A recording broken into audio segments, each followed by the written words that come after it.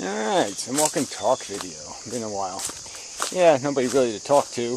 YouTube's kind of kind of a wasteland and such. I made that complaint before, so eh, okay. Um, people are watching videos, I suppose, but they're not, uh, yeah, not the ones I'm watching. Um, anyway, so Anaconda Vlog has done the. I'm not saying there's no truth. I'm just saying there's no way to get there, or something like that um, still pooing on logic as if uh, truth acquisition is some sort of tool, you know, that we're just using it to manipulate um, reality. We're not attempting, honestly, to describe it. Um, I just think that's, you could say that about religious kooks. yeah, that's for sure. Um, they're obviously distorting and perverting reason.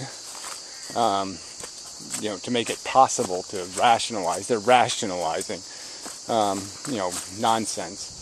Um, what can be understood as nonsense. Um, so he's just using these silly examples like, um, oh, look, our language is not good enough because we can't describe the sky in all of its skyness. yeah, we have, yeah, but we can describe it in basically um, sufficient to the purpose, which is of what utility is it? yeah, what does it mean? Oh, that's right, nothing. Um, it's like describing the World Series or something. Obviously, it's, it's nothing described honestly, but a uh, soap opera. you know, that the big, strong men are watching. yeah, it's a girly, it's a girly show. Um, you know, you know, it's a, it's a chick film. Uh, so anyway, um, but the, the other argument he's making is that uh, using, uh, manipulating, so this is the, the, joke of it, right? He's, he's, he's manipulating the use of words to imply uh, a weakness in things that doesn't really exist. Because he's just using examples that aren't really applicable to the mean, aren't applicable to the, the vast majority of the use of it. So because one mad scientist, you know, tries to sew, uh, I don't know, a duck's bill on an elephant's ass, all science is bullshit. And he's kind of doing the same thing. All logic is meaningless because uh, the mathematics we use is base 10 instead of base 8 or base whatever, uh, which is just completely perverting perspective. No one's arguing that the base we have chosen for mathematics is logical. What's being argued is that the numbers are logical, that the implications of establishing a value weight for a number uh, means that there is such a thing as a half, and that there is such a thing as a times two.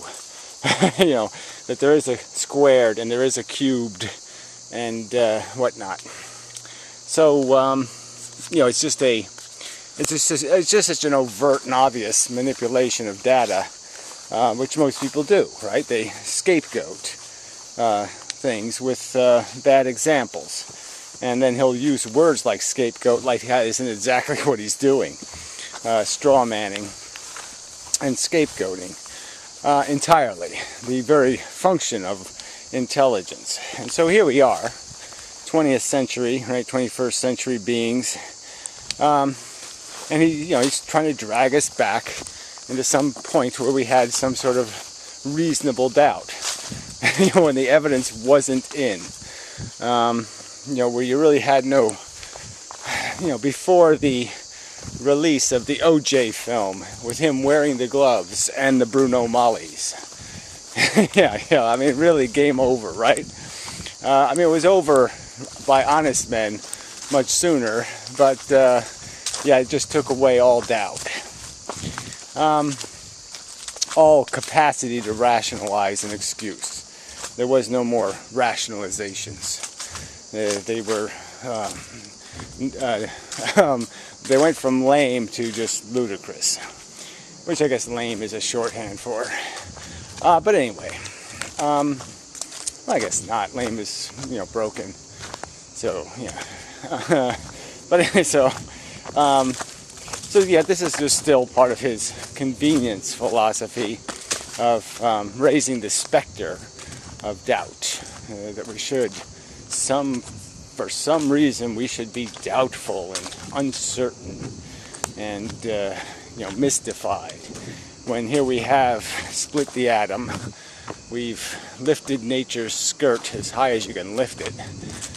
You know we can see exactly what she's got um, come on there's the mysteries are over um, the volume of data about our psychology and what we're the, the the silly internal wanky game we're all playing with ourselves, essentially, through a mechanism of psychology. We're essentially stroking each other's privates, you know, with our psychology, through the mechanism, this medium of psychology. Um, and that's about all that's going on here. But they want to glorify the game because they have to glorify their own um, the, own, the mechanism that's keeping them in the game. Uh, you know, they don't want to lose their addiction.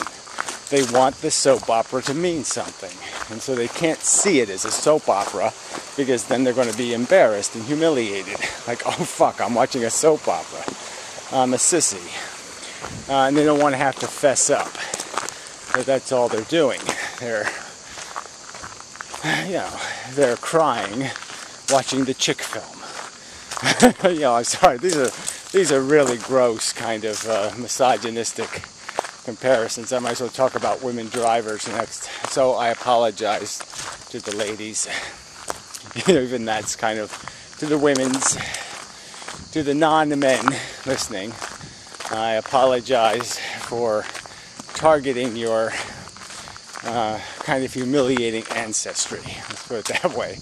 But men are also, like I said, I'm talking to humans, and I'm basically pointing out that you're all assholes, and uh, you've all got your little thumbs up your little butts. Um, you know, you're completely confused uh, by the purveyors of nonsense, from big media to little media like Anticontivads of the world, little soft soap salesmen um, you know, trying to tell you little fables and little bedtime stories uh, to give you some sense of purpose and functionality that you do not possess. Uh, some sense of, I am worth it. you know, it just can't be demonstrated with something called reasonable evidence, uh, sensible evidence uh, within the realm of or scope of credible evidence. It's just your own testimony. You know, and the Condovad says so. Life is mysterious. He says so. yeah, we can't know the basic dynamic. And like I said, we've already nailed that down. You can't reasonably believe in God anymore. You can only rationalize an excuse to believe in God. Uh, but you can't apply reason or logic uh, because the evidence of the incredibility of the testimony, the incredibility of the overt story, uh, the the perfectly viable alternative explanation of creation, uh, you're just doomed uh, to a failed existence. You know, clinging to that babble. Um, and uh, like I said, he's just giving people who are trapped in that addiction, who are wanking off to their World Series game, he's giving them an excuse to keep it up, so to speak. you know, enjoy yourself. Don't don't be a responsible human being. Don't apply reason. Uh, don't be a clinical human doing that smartification shit and the truth shit, because that's no fun. And it isn't. It's a, that part of it is true. Okay? The truth is not going to be a good time. Uh, the facts of our of this rocky road that we must travel, uh, this dangerous, insidiously brutal road. Yeah, you're just not gonna. You know, there's no cartoons or comic book reading on the Trail of Tears, so to speak. And if you want to get if you want to play, if you're gonna, if you're gonna be an honest human being, you know, you're to have to, you know, you're to get hurt. yeah, life's to hurt you. Uh, the truth is going to hurt uh, it's going to break down all the all the illusions of warmth and comfort you have, and it's going to make you feel your vulnerability and uh, the tragedy of its creation, the, the horror of its lineage and history. You're going to see the bastard in your origin, and uh, it's going to embarrass you. Um, but anyway, I mean, this is what this conversation ultimately is about: is the validity of this truth of evolution, this truth of a, you know, a, a monkey that, you know, if given proper incentive, will piss in its own mouth.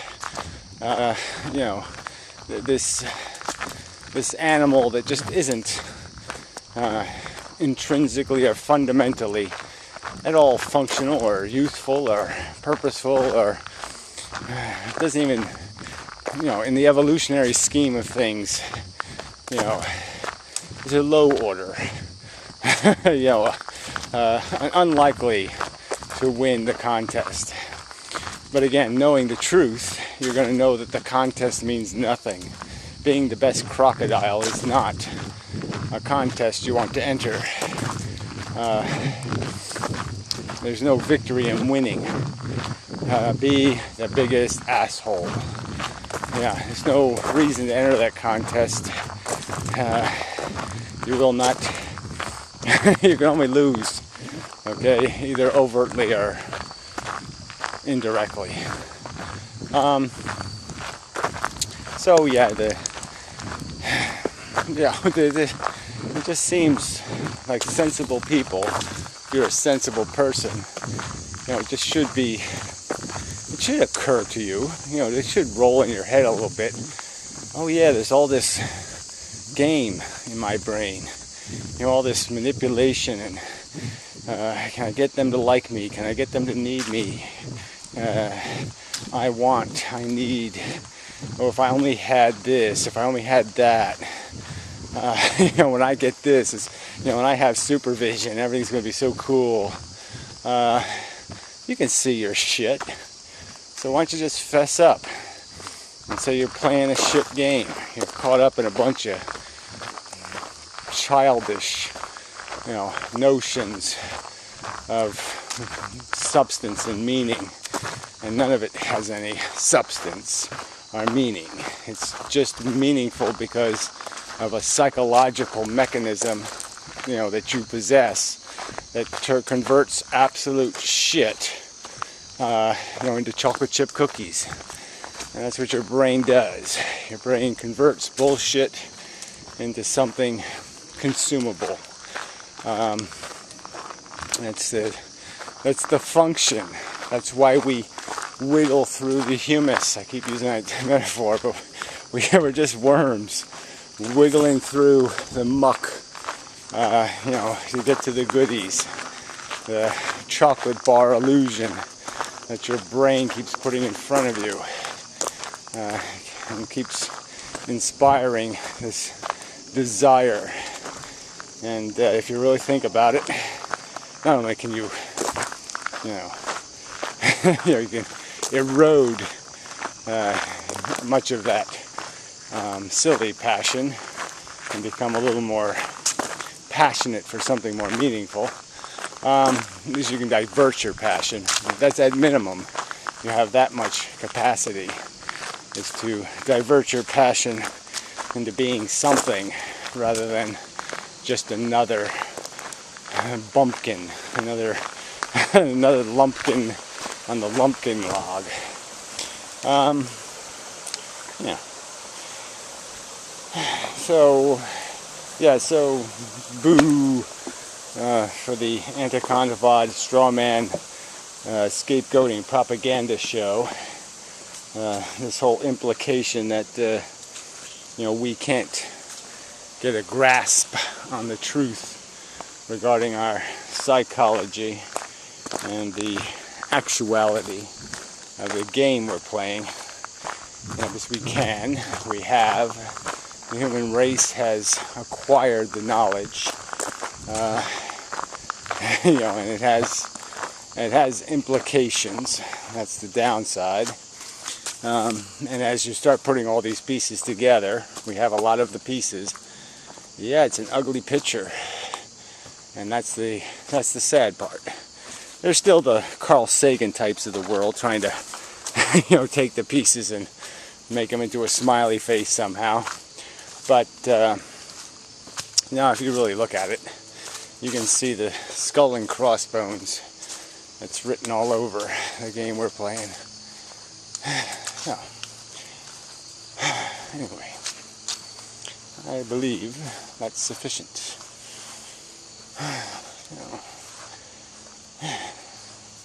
yeah, I miss the old walk and talks. so, but whatever. Uh, yeah, I've done it, been there and done that, right? Almost 3,000 videos on the inmendham channel. I suppose I should do something creative as celebration, as um, something, but I lack inspiration lately for such nonsense. yeah, but we'll see. We'll see. Um, yeah, that's, that's enough. Till next time.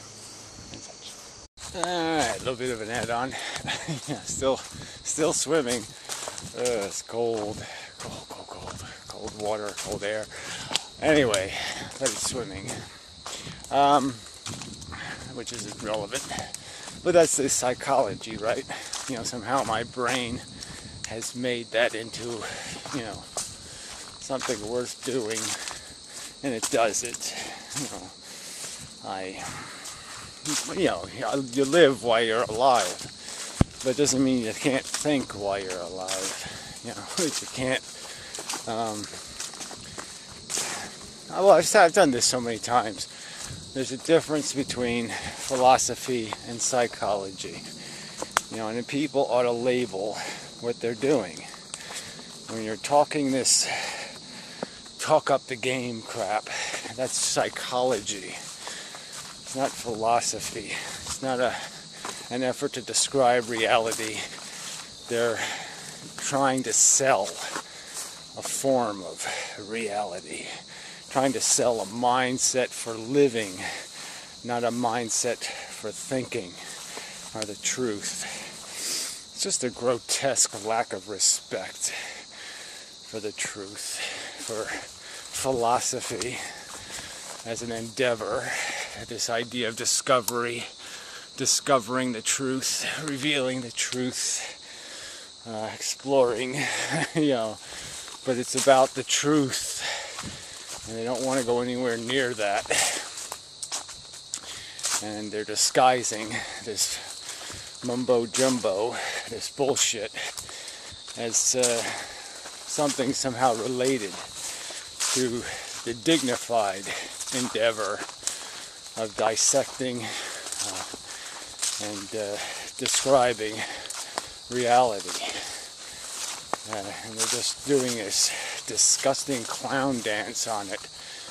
you know, and saying, you know, slapping their big flappy feet and their squeaky nose and their antics, um, smearing that crap on the truth on science, on reason, logic, all these very good words, and they're smearing this cotton candy gippity goop all over it.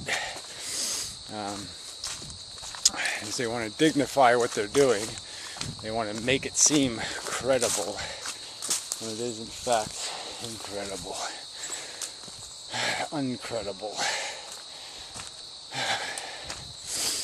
No, it's just, oh, God. yeah, just, ew. just makes you hate people. Anyway. Oh. anyway. I'm a little deaf in my ears again. Cold water is even worse for bad ears, but whatever. It does wake you up. you, know, you know you're in the game. But anyway, so there's not much to show here. Weather's holding. It really isn't that bad. Can't complain really. No right to complain. It's really been quite nice. Kind of wish I'd gotten more out of it, but I don't want to really let go of it. But, but, but, but, but. No tide, something or other. no, it was something, something, something. Yeah, that's good enough. Something, something, something. You know, cliche metaphor thingy. There, done. So, till next time. Oh, wheelbarrow. I was looking for that. yeah, I put it away. Wow, I don't, unbelievable. I don't believe I actually put something away. Shit. Doesn't sound like me. Anyway, flowers are mediocre. you know, they're coming back over here pretty well. Some damn caterpillars really nailed me. Alright, I'll pet the cat. Sitting here saying I must. Say hello. He's doing really very well. Nice thick coat. Yeah, he wants to he wants to lie down. Yes, and go swimming in the grass. Yes. Yes, he does. Oh. Alright, anyway, enough of that shit. So, that's about all. Lots of flowers here. Clump. Clumping. uh, anyway. Oh, can't go in this way. But the hibiscuses are done. No big flowers. Mm. Onward and outward. Or some such crap. Yeah. Sorry, just looking around. These are a lovely dark color here. Just, yeah, very nice. Keep having to look though. Caterpillars, caterpillars.